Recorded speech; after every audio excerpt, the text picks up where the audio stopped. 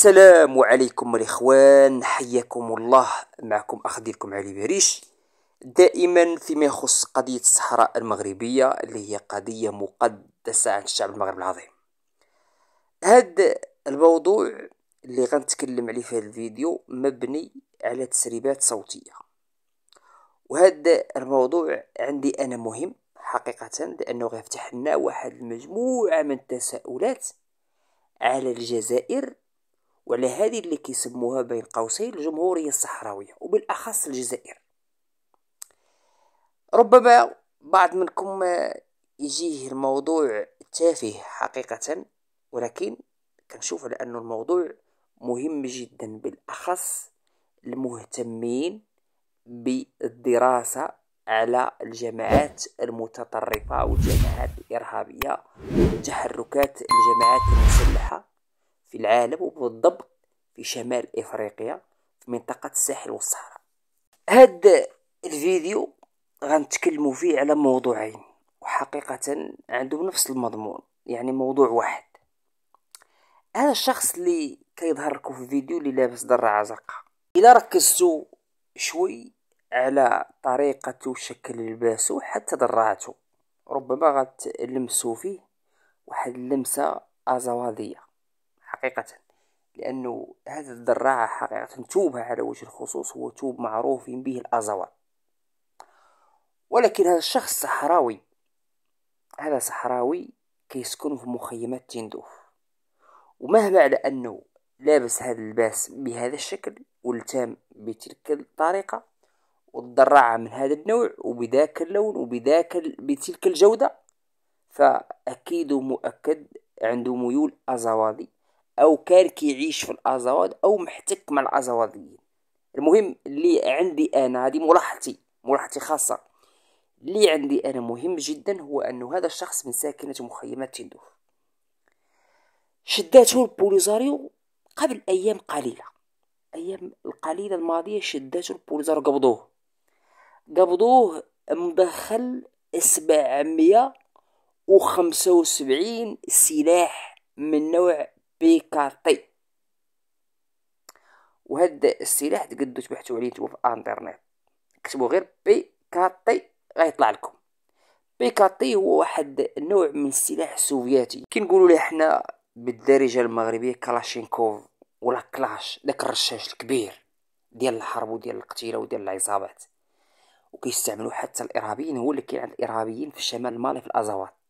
إلا لاحظتوا وبحثتوا على هاد النقطة بالضبط في شمال مالي الحركات المتطرفة الإرهابية. غتجبروا عندهم هذا النوع من السلاح منتشر حقيقة في جميع دول العالم. أي حد يقد يشريه في هاد الدول اللي ما عندهم لا أمن مخربين.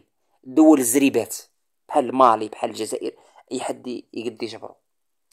المهم هذا الشخص دخل سبعمية وخمسة وسبعين من هذا السلاح بيكاتي المخيمة تيدو وقبضته البوليساريو. قبضوه.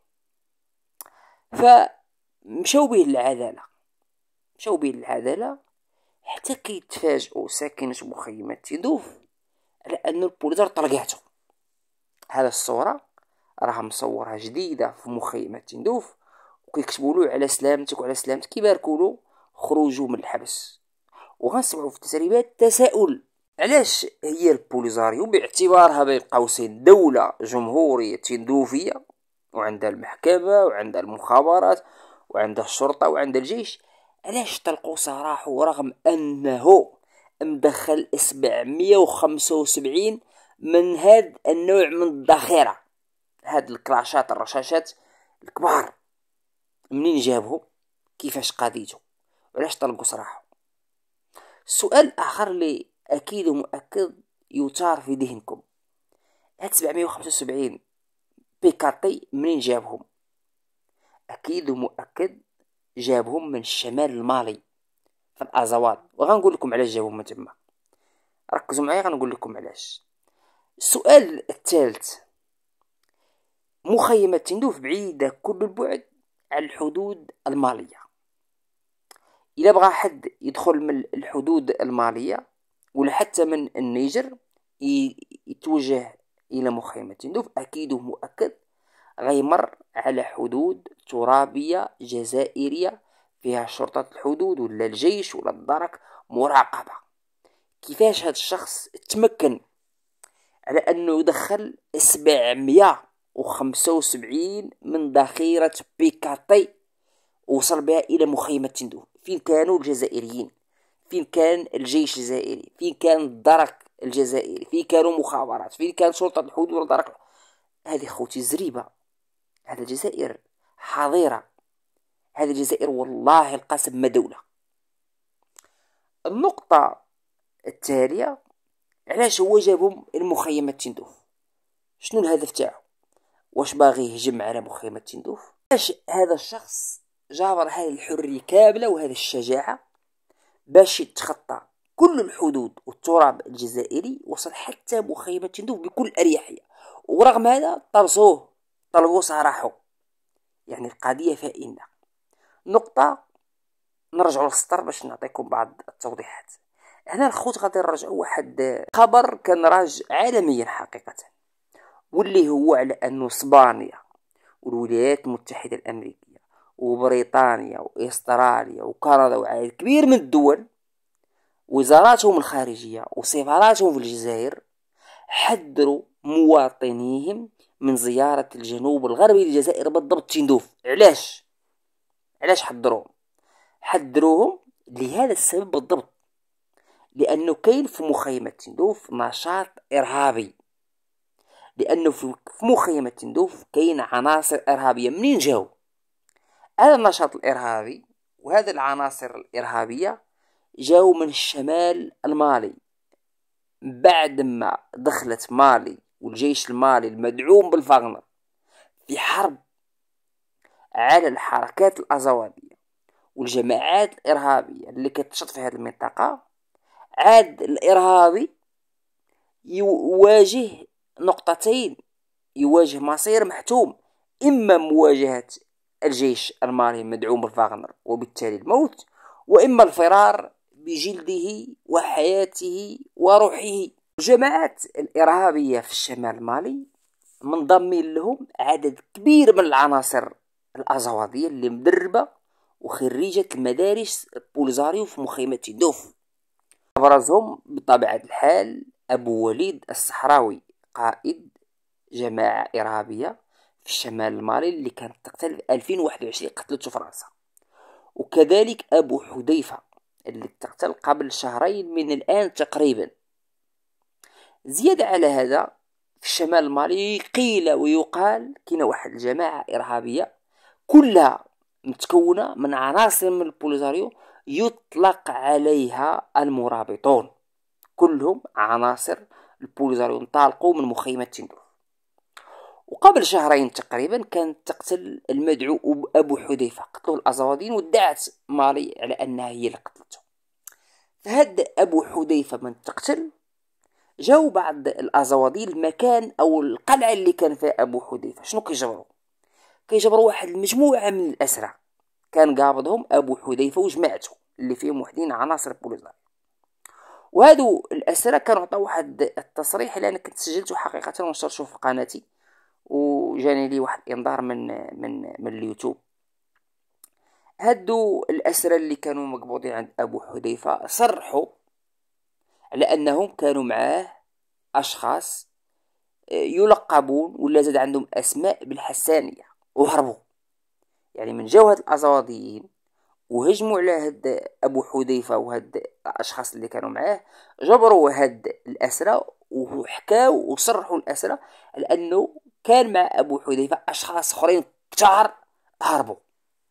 هاد الأسرى بين قوسين جبروهم سبحان الله ولا إله إلا الله مقطوعين الأرجل والأيدي هاد الطريقة من تعذيب قطع الأرجل وقطع الأصابع وقطع الأيدي. كانت كدير البوليزارو في السبعينات والثمانينات والتسعينات.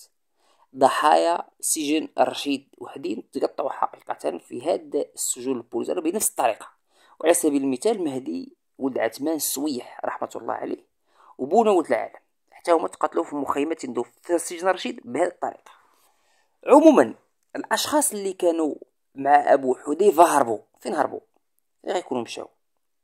إلا كانوا صحراويين كينحادروا من مخيمة تندوف من أكيد ومؤكد غيكونوا رجعوا مخيمة تندوف وبالتالي حد عنده سلاح في الشمال المالي وعنده سلاح كتير غادي يحملو في وتا سيارة ويرجع به مخيمة واحتمال كبير أنه هذا الشخص اللي عنده دراعة زرقاء بعد ما تم التضييق عليه من طرف الأزواديين والتضييق عليه من طرف الفاغنر والجيش المالي وأصبح الموت ما حد تم حمل تلك الذخيرة 775 بيكاطي وتوجه بها عند البوليزار وسمحوا لي باش يدخلها إلى مخيمة تيدوف فالتقبض تيقول على التقبض أيام قليلة وطلقوا سراحه وهذه كانت تستغرب لها حقيقة. سمعوا التسريبات الصوتية على الموضوع الأول. ونمشوا للموضوع الثاني اللي غادي نحاول نوصل لكم فيديو. السلام عليكم ورحمة الله تعالى وبركاته. صوت الشعب الصحراوي وكافة صوت النخبة شحالكم في لباس الخير أيوة مسوي عنكم كاملين مواصل رحمكم. عساكم إن شاء الله تكونوا بخير. وياكم إن شاء الله بخير كاملين. شحالكم شماسين يا لباس يا الخير. الحمد لله ريتوباس ما شاء الله. هلا خالق موضوع هون زي عندي نطلع موضوع للنقاش ونتمنى على اللي قد كامل يشارك فيه يشارك فيه. وهو أخبار ذا الراجل المقبول نهار ذا قابضينه عنده قابضته السلطات الأمنية الصحراوية. عنده من ذاخرة جايبو. وعقب عقب نطلص نطلص برا. زين عندي توف تعطونا تغنونا النقاش ونعرفوا شنو الأسباب اللي جعلتو ينطلص. علاه نطلص. هاي مرحبا بكم سهلة راني نطلع لكم رأيك الموضوع بإذن الله تعالى. يا أبوك هذا محكوم هذا شايفينه رافد رافد. سبعمية وخمسة وسبعين. عمارة. بكاتي. وطلص اليوم المحكمة. بري مرحبا وسهلا يا كلابات الخير. يقول أبوك هذا هو المقبول رافد الذخيرة. ونطلص بري أيوه حريص أقول لكم أنا قعدتم وقاعد اللي يجري فيها أنا شنو؟ والنظام هذا يضحك في الوقيش والله شنو؟ والله يلعب فيكم. هذا اللي يلعب النظام في الوقيش شوف قول قاعد زي يقبضوا عنده لا كبسولة ما هي عمارة لا كبسولة خاوية؟ قاعد شو يخلق له نحلين بي يقبضوا الجزائر لا كبسولة خاوية لا ورق فارغ يوقي قاعد الكمية من الذخيرة. يحرق بيكم هذا عنده قبل حد يقدر يشتغل ما حد قاعد يقدر حد. أعوذ بالله فضيحة هذه. أو رواية خاصة تناقش. هذا هذا هذا, هذا النظام إذا عاد إذا عاد يطلس العينة ويطلس الفريد كيف تخلق أنا على إنه لا لا يدح أولا عاد يخدم المغ... عاد يخدم خدمة المغاربة ما يخدم الوطنية. عقب ذاك أنا على إنه عاد لا لا يضحك في الوقت مع النظام توه متثعلب وتوه لابس من الرجال وتوه ضحك في عقوله وتوه يتبع صار مسيكين وتجي على شو الكذيب وتوه. تحت شعار قوتنا قوة قوة والقوة من تقوس يصبح ملا يص يص يصبح السوق مطلوس ما يصلح الرواية بدل عندي ما, ما هي معقولة يا الناس تشوف فيها وتناقش الرواية أنا ما هي ما هي معقولة. لا ضحك في خلقته قبل حد يقدر يشتغل وسهلا يا جماعة بأس الخير هذا مطلعين صورته ماله هذا؟ واللي مقبوض عنده ذخيرة ولا شنو؟ نمشوا الموضوع الثاني المشابه حقيقة نفس الموضوع واللي لا يقل أهمية على الموضوع الذخيرة 775 بيكاطي هذه واحد الأيام البوليزاريو ما يصطلح عليه بين قوسين الدرك الصحراوي لقاو القبض على واحد المجموعة من السيارات جزائرية حاملين واحد الشح الشحنة كبيرة من مخدر القرقوبي هذا الأقراص المهلوسة. وهذو الواتات ولا هذه السيارات صوروهم أشخاص يسكنوا في مخيمة وبالتالي انتشر انتشر الخبر.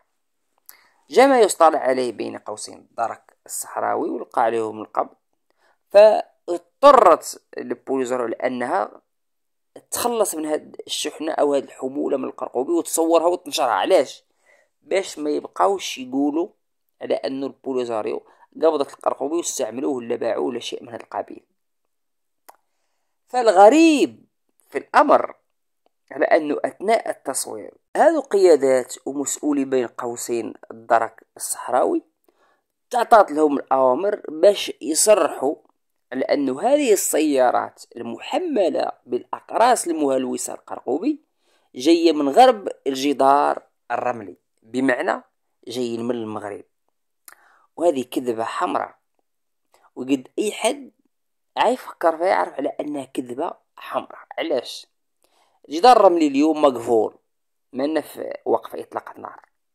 كون قلتوها بين 1991 و 2020 قدو صدقوها. ولكن اليوم بوليزاريو عالنا حرب على المغرب. وأي ذبانة ما كتزنزنش في المناطق العازلة وتقولوا جاية من شرق من غرب الجدار الرملي. هذه كذبة. هذا القرقوبي الخوتي شكون معروف به عالميا على أنه كينتجو كيصنعوا هي الجزائر. حنا كنتكلموا عالميا. وهذا القرقوبي كينتجوه مصانع أو مختبرات تابعة القياديين ومسؤولين وجنرالات جزائرية. وتخيلوا على أن الجزائر تعتبر أكثر دول العالم إنتاج لهذا المخدر في العالم. وجميع القرقوبي اللي كاين اليوم في موريتان في مالي في النيجر في جميع دول إفريقيا كيجي من الجزائر عبر الحدود الجزائرية المشتركة. واليوم في مخيمة تندوف شباب مخيمة تندوف حتى النساء كلهم كيستعملوا هاد القرقوبي الجزائري. لكن حيت هم كلاب حيت هم بدون كرامة ما يقدوش يقولوا كلمة على الجزائر. وفي نفس الوقت يستغلوا هاد القضية ضد المغرب قالوا على أنه جاي من غرب الجدار الرملي. وهذه كذبة باينة واضحة. ثم عالنين حرب على المغرب. لا قدت هاد الوتة وهاد السيارة تجي من المغرب وتوصل حتى مخيمة تندوف حتى نتوما كابولزر تقدوا اليوم تسلوا تجيو توصلوا حتى للجدار الرملي وتدخلوا إلى المناطق. ولا زاد المدن الصحراويه المغربيه وتختطفوا صحراويين. وهذه الحلمة اللي كتحلموا بها أنتم من السبعينات. حياكم الله ويحيي الشعب المغربي العظيم. حجز كمية معتبرة من المهلوسات قادمة من خلف جدار الذل والعار. تم تقديمها للجهات المعنية الجهات القضائية المعنية.